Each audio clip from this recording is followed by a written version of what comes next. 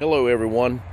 I'm going to take us a uh, walk around here on this 2017 E-Z-GO TXT gas cart. This cart has the uh, Kawasaki 13 horsepower motor. This is a custom build. You can see we've got the 6 inch lift kit installed on the car.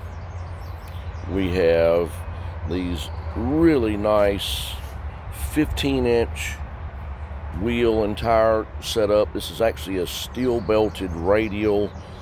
Uh, we've had these on another car, and I'm going to tell you, these things ride incredibly well.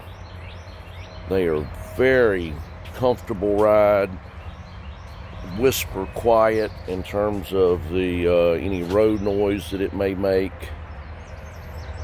See this car cleaned up very nicely getting ready to uh, start going back together. We've got a big oversized deep cycle battery to handle a future radio setup that will include uh, LED speakers, uh, four six and a half kicker, uh, as well as a uh, kicker 10 inch subwoofer, underbody lights, custom burgundy body. This is going to be a super nice build.